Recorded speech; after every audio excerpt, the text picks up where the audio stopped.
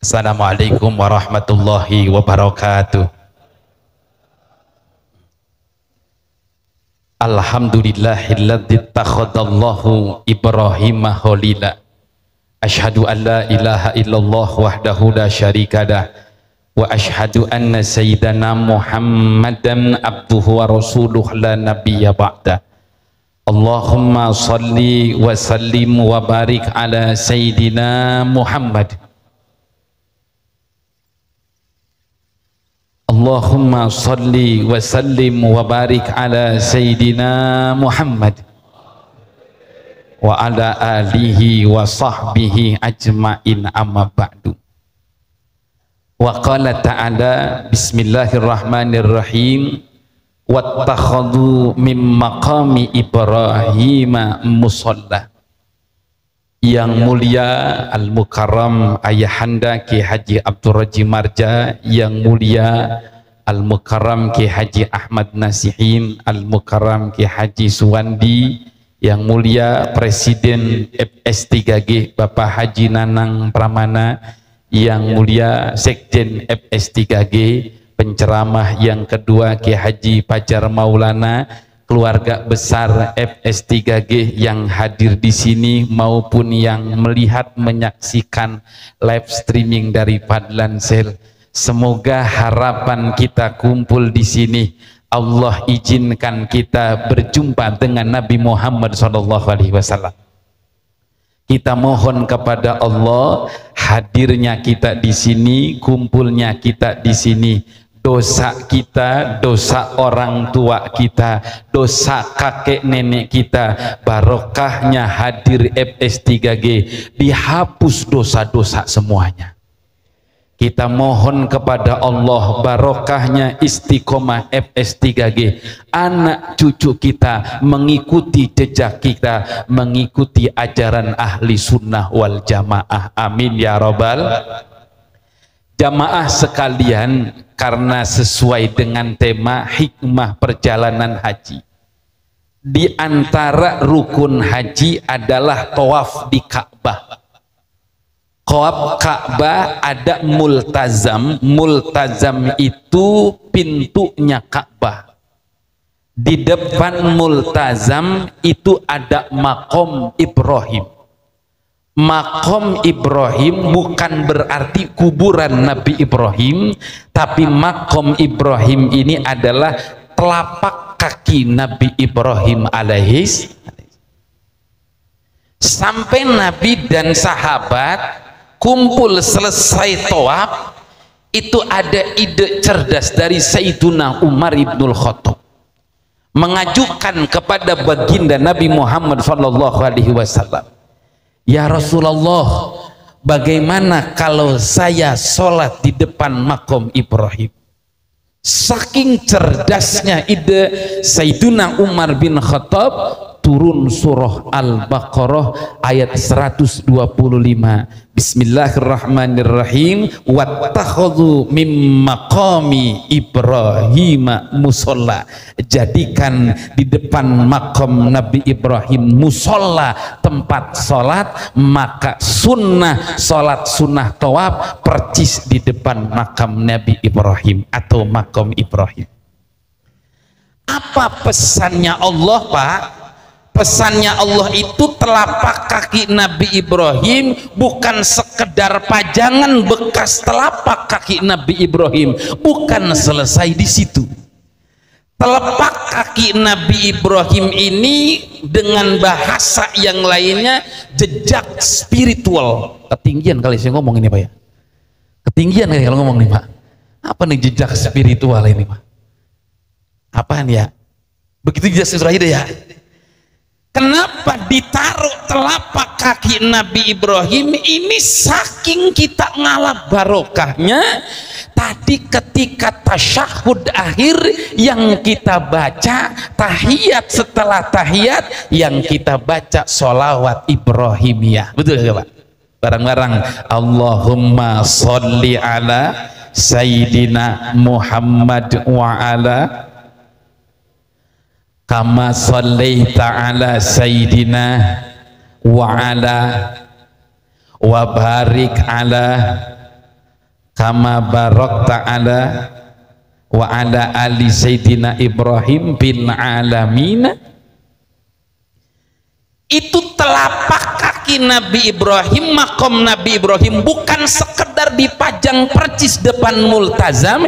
Itu nasihat bagi kita tingkah laku kita. Namanya Bang Gondrong Wawan Bang Gondrong langkahnya seperti Nabi Ibrahim namanya Ustadz Haji Ahmad Maulana tapi jejak tingkah lakunya seperti Nabi Ibrahim alaihi Masya karena syariat haji itu tidak lepas dari syajaran Nabi Ibrahim alaihi salam. Idul Adha kurban pun zamarot menjadi wajib haji. Itu adalah mengikuti jejak spiritual Nabi Ibrahim alaihi salam. Ini masih ngambang ini. Langkah apa yang kita contoh? Jawabannya ada di surah An-Nisa ayat 125 wattakhadallahu Ibrahim khalila. Allah jadikan Nabi Ibrahim kekasihnya Allah. Ini yang kita ikutin jejaknya Pak. Bukan sekedar telapakannya bukan sekedar dua telapak kaki Nabi Ibrahim. Jawabannya wattakhadallahu Ibrahim khalila. Imam Nawawi Al-Bantani ulama Nusantara kebanggaan bangsa Indonesia yang makamnya di Makla di dekat Sayyidah Khadijah. Dijelaskan kila Ibrahim Nabi Ibrahim ditanya li ayyisain ittakhadaqallahu khalila? Wahai Nabi Ibrahim amalan apa sehingga engkau diangkat menjadi kekasihnya Allah ini baru makom Ibrahim doang ini Pak. Ini panjang banget ini jelasin ya. Baru telapak kaki Nabi Ibrahim doang. Sekjen udah 10 menit Sekjen. Kata Sekjen tadi 15 menit. Lu 5 menitin Sekjen. Udah. Oh lanjut. Ini kan posisi Nasid Atakwa kalau sebelah kidul paling bontot ini Pak. Betul ya? Bekidul ini paling bontot kalau ngalor Masjid Al Muhajirin saya minta sama sekjen kagak dapat jatah ini saya. Pengen juga apa FS3G sama sekjen karena jadwalnya full banyak yang request ini mah udah luar biasa ini.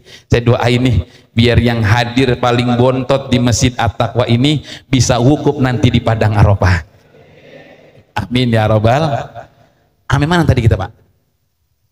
Bukan ingatnya bontotnya doang kan ya Nabi Ibrahim ditanya amalan apa? Li ayyi syai'in ittakhadaqallahu Ibrahim khalila. Amalan apa Nabi Ibrahim sehingga engkau diangkat menjadi kekasihnya Allah? Waqala sati asya aku diangkat menjadi kekasihnya Allah. Sati asya aku cuma mengerjakan tiga hal. Masya Allah kalau Bapak yang hadir di sini nih ngerjain tiga hal ini, maka Bapak menjadi khalilullah, menjadi kekasihnya Allah. Malau Bapak ngerjain tiga hal ini, Bapak akan diangkat jadi wali. Masya, ini kan wali semua ini Pak. Wali murid sama wali-wali daya, warhamhuma, kamarobayani, wali juga sama. Kalau ngerjain tiga ini, apa yang pertama? Amalan bisa diangkat menjadi khalilullah menjadi kekasihnya Allah. Kalau bapak mau diangkat jadi kekasihnya Allah ada tiga amalan Nabi Ibrahim. Yang pertama ihtartu amrallah ala amri ghairi mendahulukan urusan Allah daripada urusan yang lainnya. Yang kedua ma akaltu illa Nabi Ibrahim diangkat jadi kekasihnya Allah. Nabi Ibrahim tidak makan kecuali ngajak orang lain traktir orang lain. Yang ketiga ma ihtamamtu bima taqabbalallahu li. Nabi Ibrahim tidak khawatir tentang rezeki. Nabi Ibrahim tidak takut rezekinya diambil orang. Ini saya jelasin atu-atu sisanya tinggal berapa nih 5 menit lagi sekjen ya? Kata sekjen 15 menit pak. Berarti 5 menit lagi nih ya? Yang pertama ihtartu amrullah ala amri ghairi mendahulukan urusan Allah daripada urusan lain. Ini gampang Pak nerjemahinnya. Bapak kalau pala puyeng di pikiran kita bodrek dulu apa Allah dulu? Ayo dah ayo bang. Bodrek bang sampai bilang begini ini pala kalau belum minum bodrek mak belum sembuh. Ada nggak kira-kira begitu? Berarti saya tanya bodrek dulu apa Allah dulu? Eh bu saya bodrek dulu ya. Pagi-pagi puyeng pala. Apa kata dia? Ini mah kalau belum kena kopi hitam pala belum kelengnya belum kelar ini. Saya tanya kopi hitam dulu apa Allah dulu? Eh bu saya Urat ini romana agak belebek ini belum kena gemplong dua sama bakwan tiga. Gemplong dulu apa Allah dulu kira-kira pak? Eh buset kalau belum Allah puyeng nih pikiran kita bodrek dulu. Kenapa ya Allah? Ketika pala puyeng seharusnya ya Allah pala saya sakit ngalap barokah ya Allah dengan asmamu ya Allah. Sababiah bodrek biar sembuh. Cuman kita kebalik neng beliin bodrek pala buah belum sembuh nih neng. Kalau belum kena bodrek akhirnya kita mendahulukan urusan Allah daripada urusan yang lainnya. Masya Allah Tuh Pak, yang pertama mendahulukan urusan Allah daripada urusan yang lainnya. Ini kan perang batin Nabi Ibrahim. Putra kesayangan, anak semata golek. Golek semata wayang, Pak. Anak semata wayang satu-satunya sedang lucu-lucunya begitu cinta Qala ya bunayya inni ara fil manami anni adbahuka fanzur madza tara. Saking Pak dengan nada yang begitu berat.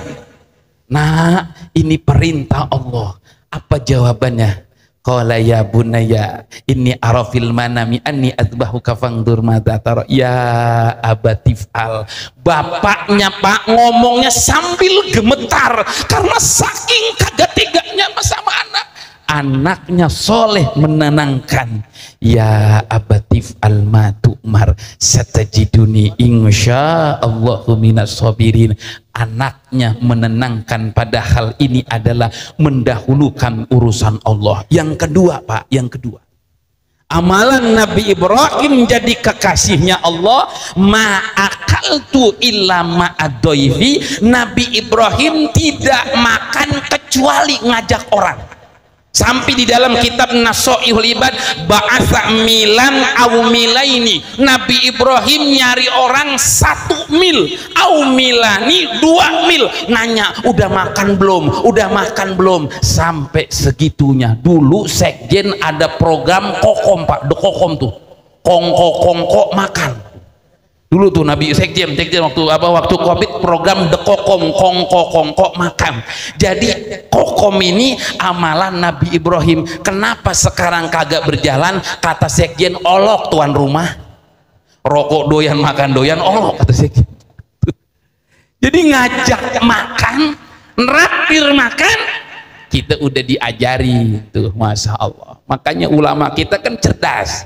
Habis tahlilan kita mah habis selamatan kita habis maulidan kita habis akekahan kita makan. Ada yang nanya sama saya guru emang makan dulu apa ngajak makan apa ngajak minum? Gitu pak maksudnya apa? Itu kan ada riwayat. Maaf seorang pelacur ngasih minum anjing yang kehausan masuk surga. Bagusan mana ngajak makan apa ngajak minum? Saya jawabannya begini pak. Kalau ngajak makan pasti minum. Kalau ngajak minum belum tentu. Ongkoh kalau ngajak makan kagak minum serap itu orang. Tuh, Pak. ternyata ngajak makan tahlilan selamatan maulidan tasyakuran. Kan ujung-ujungnya kan jadi ngumpul ngariung arisan juga pak ujung-ujungnya makan. Paketan ujung-ujungnya punya makan. Berarti ngajak makan itu amalan Nabi Ibrahim alaihi. Tuh yang kedua yang ketiga. Jejak langkah Nabi Ibrahim. Namanya Bang Wawan gondrong tapi tingkah lakunya langkahnya ada doa Pak ada doa kalau melewatin makom Ibrahim Robbi adkhilni mudkhala sidiki wa akhrijni mukhraja sidiki ya Allah langkah saya ini benar apa kagak? Keluarnya benar masuknya benar apa kagak? Ya Allah saya duduk sama ulama ini ulama-ulama yang benar. Ulama-ulama yang benar dipertanggungjawabkan karena sekarang hati-hati Pak banyak yang ulama-ulamaan ngajinya saking hebatnya bukan belajar nahu sorob bukan belajar bahasa Arab belajar bahasa semut. Wamakoli wamakoli rohmatan Indonesia rohmatan sahabat. Itu Pak Bikarangi lagi bahas ngaji bahasa semut. Besok bahasa blakot. Minggu depannya lagi bahasa curut itu Pak wa rabbi ajhilni mudkhala sidki wa akhrijni mudkhala mukhraja sidki ya Allah langkah saya benar kagak? Tingkah laku saya seperti Nabi Ibrahim tidak? Kalau benar maka akan menjadi khalilullah yang terakhir. Ma'ih tamamtu bima taqabbalallahu li. Nabi Ibrahim kagak khawatir tentang rezeki. Jangan terlalu ngoyok dagang pak ada orang dagang dia lupa. Lupa sholat, lupa ibadah, nyari rezeki, dia lupa siapa yang ngatur rezeki. Dia nyari duit, dia lupa siapa Allah yang ngatur duit dagang lupa sholat dagang lupa ibadah dagang lupa ngaji lupa kehadir majlis talim nyari uang lupa siapa Allah yang ngatur uang. Nyari duit lupa siapa Allah yang ngatur duit. Ternyata ini Nabi Ibrahim ma'ih tamamtu bima taqabbalallahu li. Nabi Ibrahim tidak khawatir tentang rezeki. Ini baru bahas makom Ibrahim. Makom Ibrahim telapak kaki Nabi Ibrahim jejak spiritual Nabi Ibrahim bukan sekedar pajangan di depan Ka'bah tetapi tingkah laku kita perjalanan kita langkah kita ini mengikuti jejak Nabi Ibrahim alaihi salam. Amin ya robbal terakhir Pak terakhir. Uh, al hajju wal arafah. Ini harus disampaikan Pak al hajju wal arafah haji itu puncaknya wukuf di padang arafah. Setelah wukuf itu kan jamaah haji pindah ke Muzdalifah. Ini saya singkat nih Pak ya. Apa itu arafah? Ini ada storynya Pak. Ada storynya kadang kan jamaah itu tiba wukuf doang diem di arafah kemudian malam di Muzdalifah. Ini ada makna tersendiri yang tersirat Arafah ini wukuf, di situ ada sejarah Nabi Adam alaihi salam berjumpa dengan Siti Hawa, ketemunya di Arafah. Karena Nabi Adam ketemu dengan Siti Hawa, Nabi Adam kangennya luar biasa. Rindunya luar biasa, Nabi Adam dan Siti Hawa bergeser ke Muzdalifah Muzdalifah itu isi makan. Muzdalifah asalnya izdalapa ai ijtama'a. Ijtama'a kumpul. Jadi Nabi Adam dan Siti Hawa bermalam ngumpul di Muzdalifah. Karena kangen udah lama nggak ketemu tuh. Ternyata bermalam di Muzdalifah Nabi Adam pindah ke Mina. Apa itu Mina? Isi makan juga Pak apa arti mina? Mina itu artinya cita-cita. Diriwayatkan oleh Imam Ibnu Abbas. Malaikat Jibril nanya kepada Nabi Adam, "Wahai Adam, bermalam dengan Siti Hawa di Muzdalifah, enak apa kagak?" Kata Nabi Adam, "Kagak enak tinggal di dunia wahai Jibril." Patamanna Adamu alaihi salam al jannata patamana bercita-cita.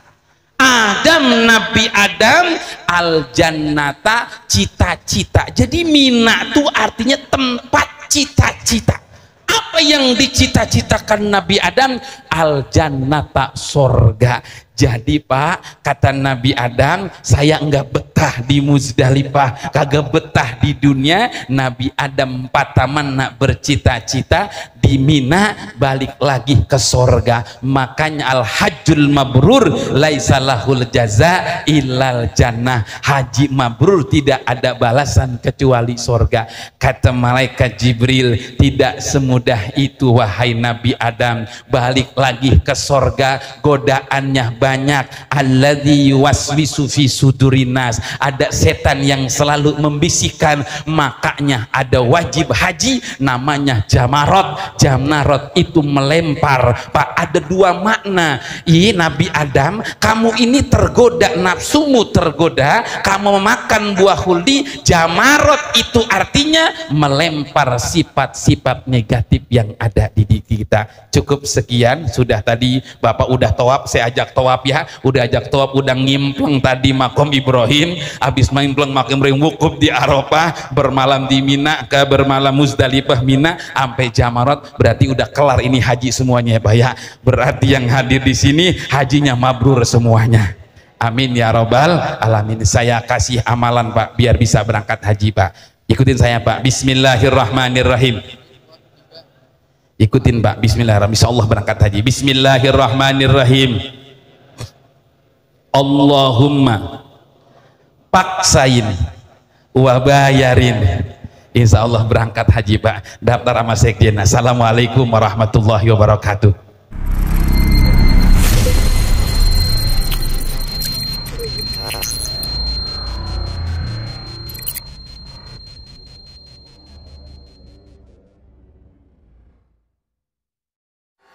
dengan siaran langsung YouTube channel live streaming Fadlan Sel.